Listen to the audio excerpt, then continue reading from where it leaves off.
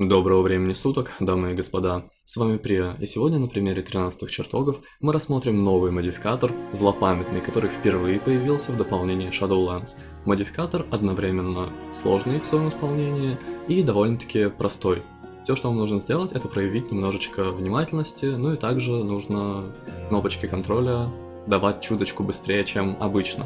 Суть проста.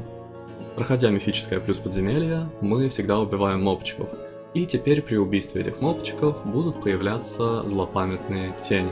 Эти злопамятные тени привязываются к случайному игроку. И в тот момент, когда на вас привязывается злопамятная тень, вы ощущаете над собой глазки над моделью персонажа, и злопамятная тень подсвечивается красным цветом.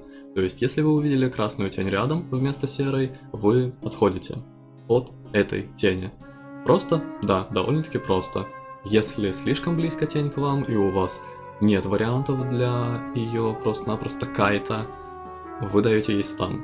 Если у вас есть друид в группе, можно дать тайфун, вихрь Урсола. Если есть охотник, связующий выстрел. То есть можно использовать все-все-все элементы контроля. И эту тень можно убить. А почему можно, а не нужно? Сама по себе тень теряет здоровье пассивно. То есть вы можете вообще в нее никак не переключаться, и она умрет сама по себе.